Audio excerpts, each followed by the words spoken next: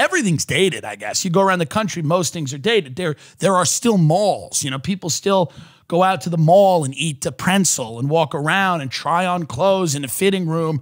And you go, no, you don't do that. You buy the clothes on the internet. You don't go to the mall anymore. You don't have to go to the mall. I understand that it's nice, I guess, to walk around a mall, but you don't have to do it. You're walking around a mall, you almost feel like you're walking around Alcatraz. You're walking around a place that shouldn't exist anymore and does. And it's weird. And then the food courts there. And uh, they've always got like a Chinese restaurant, a Chinese restaurant with like a weird name. It's always kind of vaguely racist, you know, it's like Mr. Wang's or something. And it's just people that you'll just see people there just eating lo mein with like a Dickies bag. And they just went to go get put a pants on at Dickies, and now they're gonna eat fucking lo mein, three thousand calories of MS and MSG, and go home and then the pants don't fit. You know, mm. it, it's it. We haven't figured out a lot of shit on this planet. We're not evolving that quickly. You'd think we'd be evolving at a little quicker pace. We're really not, because the only other option is the internet, which also sucks because you get it, doesn't fit you're on the internet, that's alienating and sad, and you're like jacking it, and then you're like, all right, I gotta buy clothes, and then I'm fighting with my aunt on Facebook, and then what? I want an NFT, and it's not good. You've set up this digital world for yourself that sucks. But the real world also sucks. Like now that things are opening, you start to realize, man, the real world kind of sucks a little bit too.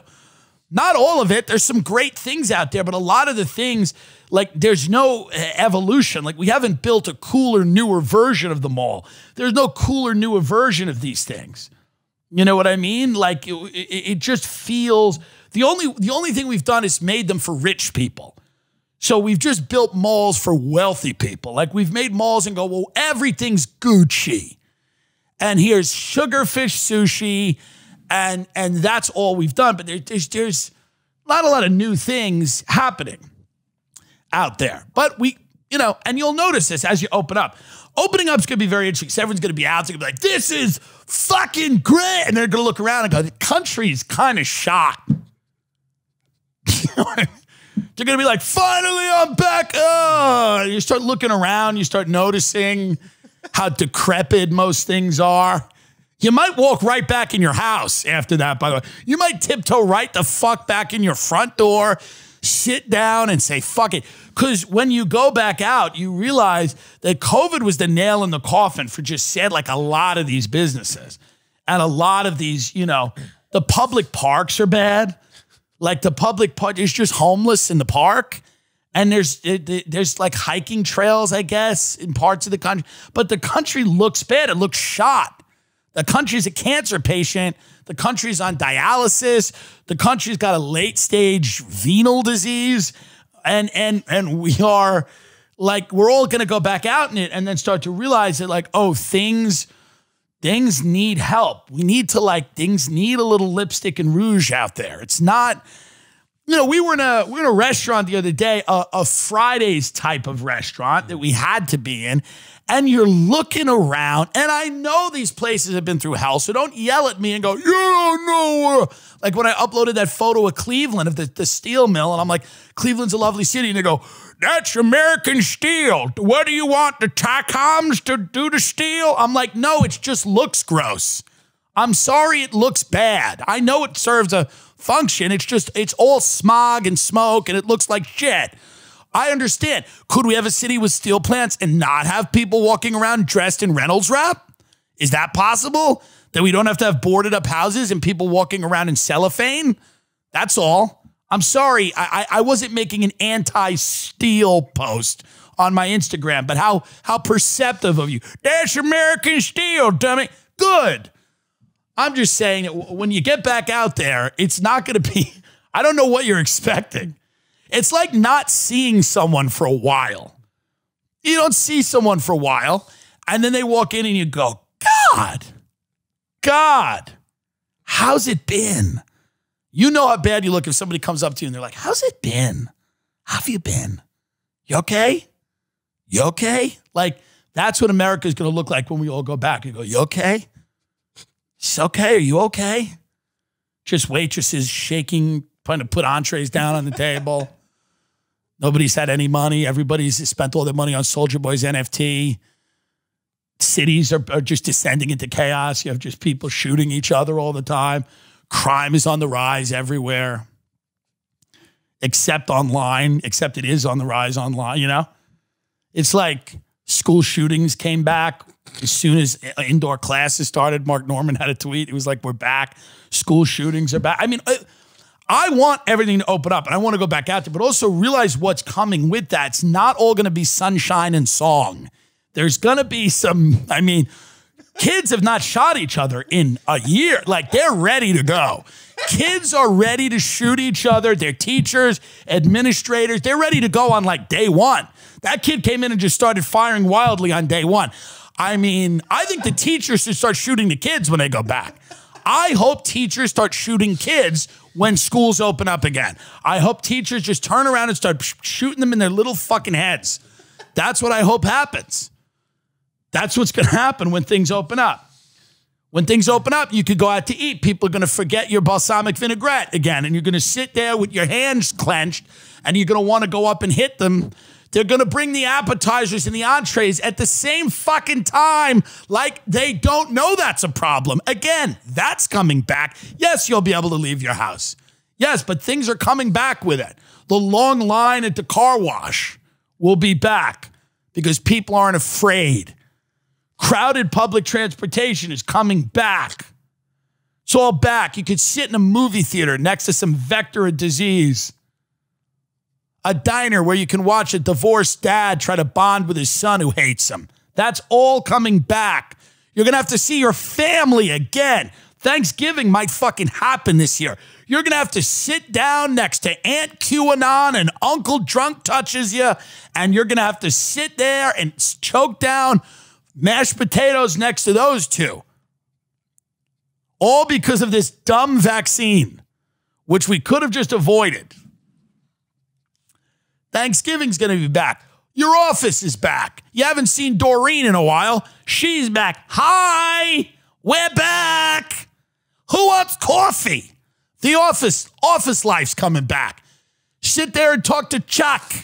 He just started watching The Americans. He thinks he's living next to a communist spy. Chuck's going to fill you in on that in the break room. That's coming back. Get excited. Your kids are going to go to start going to school again. It's going to be much easier for them to get heroin and fucked in the mouth. That's happening. Your daughter's going to have a venereal disease in about six months because we've vaccinated everybody and we're ready to go. So that's back if she doesn't get shot in the face by one of these antisocial kids who spent the last 12 months reading about Bitcoin. So that's back. You happy? You happy you got your second shot and you're back now? Traffic will be back. It's already kind of back. You could sit in traffic. You got that long commute to work, pass by billboards of televangelists and healthcare companies that denied you. You could pull in your little fucking thing at your data entry job, go in there, sit down next to somebody named Michelle and you guys sit there and you walk in and there's a crusty donut left from yesterday, but you just put that down your throat and you get to have a nice fucking caramel latte that's 2,800 calories and it buzzes you up for only 45 minutes and then you got to start taking the pills because nothing else works. That's coming back. Open it up. Open it all up. It's coming. And don't you worry about it. I'm just saying, hey, I know we need to open up, but let's do it with open eyes. Let's open up with open eyes here. Maybe we don't have to go back to everything we did. Maybe we can be smarter and safer, okay, about some of the things that we used to do. You know? That's all. That's all I'm saying. I'm not saying don't be excited about. I'm excited about it. I'm excited about everything opening up again, and I want to see everyone I've missed for the last year. It I've been very all these young kids are killing themselves because they uh, have no friends. I'm going to kill myself when I'm forced to see my friends again. Do you understand the difference? I've been on the planet long enough to know you don't kill yourself when you have no friends. It's a mark of virtue to not have any friends. Most people don't realize that. It's actually biblical. Christ didn't have any friends. Exactly. But I'm excited for things to come back. I know that people don't, people probably say, I feel like he's not, but I am. It's going to be fun. Things are coming back. We're going to do a bunch of crazy, cool shit uh, when we're allowed to do it at capacity. Really cool, weird comedy experiences uh, that we're trying to work with different people and companies and investors to do and and shit like that. And and I'm pumped about it.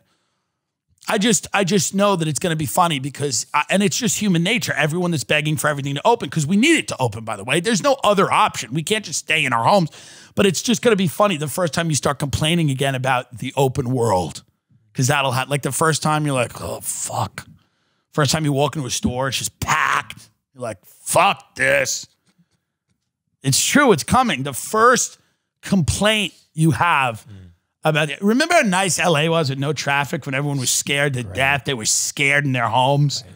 They were just scared, terrified of leaving their homes the way it should be. And then now the traffic's back out. People are having quinceañeras on the beach. Get off the beach. They're doing quinceañeras on the beach in Malibu.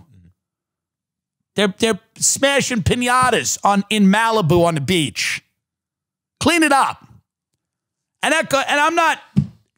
It's quinceanera because it. That's what I saw. I don't care if it was a. I don't want a white bitch there with a pinata either. Mm-hmm. So don't come at me. I'm just saying there's a lot of fun stuff that's going to be happening very soon that will also anger you. I've gotten a little used to um, not seeing as many people. And I'm going to obviously get used to seeing more of them, which will be lovely and my fam, I guess I'll have to see my, I guess at some point I will have to see my family. My mother's in her nursing home. They've just locked her up. No one can see her. I just wave at her through the window and tell her what NFT to buy. Now I'm going to have to go in there and actually talk to her, which is fine. But the, you got to realize what's about to happen here, folks. Are you prepared? You got to just get ready for it. Bob and weave, bob and weave. You got to get ready for it. Many of you think you want it until it's here. It's like anything. You think you want it, and then it's here, and then you're like, wait, what? But this digital hell can't last. That's true. We need to go out and see people. We need humanity. We need real friends. We need to look at them. We need to realize why we didn't talk to them that much over the last year because they're non essential to us. That's the other thing. If you didn't talk to someone over the last year, they, it's really like, I mean, I know you'll go out, you'll patch those friendships to an extent, but like, there's going to be a lot of people that reconnect with you after this whole thing where you, you're going to be sitting there going, looking at them going, I don't need you. This year showed you what you needed. What you need. You don't need a lot of things and people. You don't. This year simplified our lives in a weird way. It complicated them, but it also simplified them. You know what I mean? Like, I realize that all I need is Ben, and then on the other side of this camera, 500,000 domestic terrorists. I don't need a lot. I just need half a million people, many of whom are on a watch list, and him. I'm not, I don't need a ton of other things going on in my life, you know? You know, I need a couple of good looking gentlemen with six packs or a little younger that want Gucci shoes. That's what I need. I don't need an endless supply of social interactions. I find them to be a little meaningless, but I'm getting older. I'm 36. You're getting older. You know, I get it. If this happened when I was 22, I'd be like, man, I'm fucking, I can't believe it. Dude, what? Now I'm like, I'm, I'm like dreading. I pray every day. I turn on the TV. I pray for the new strain. I pray that people's faces start melting off with this. I go, come on. I roll the dice. I'm like, give me Brazil. Give me Brazil. Cause I'm just trying to avoid Thanksgiving. So I'm like, Roll the dice. Come on, give me something from Pakistan. Give it to me good. I don't know. It won't be over that soon, but it'll be over soon enough. I, ho- I, I do hope it ends. We need new things. We need new things to be angry at and mad at, and we need new uh, challenges in life. We need to go out there and people need to fuck again and meet each other and, and have physical relationships. You know, I mean, I get it, you know, but it's a very interesting thing to be just let out of the cage. Just let out of the cage. Like, here's the reality. When you let the kids out of the ice cage, many of them were like, hey, man, it sucked in there, but I, this is also bad wherever they put them. I don't know. You know what I mean? Should I broadcast from one of the Biden administration ice cages for a week? Because Biden hasn't shut them down either.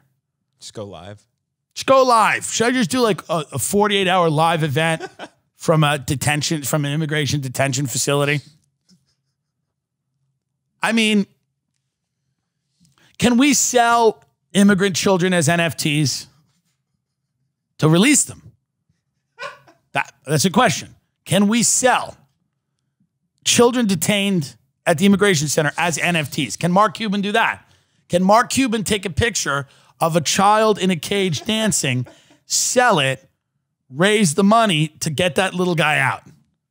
And we'd have to explain to him, Jose, you're an NFT now. You're a non fungible token. Okay?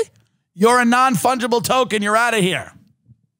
And we turn to the next one and go, You're not a non fungible token yet. Back in. I'm laughing. I, of course, am for abolishing the cages. So don't get angry at me. I don't want any children in cages, and I never did. So don't, oh, don't I'm, I'm making fun of a horrible situation, you know? I also didn't want the My Lai massacre. You know, I'm not involved in the decision making.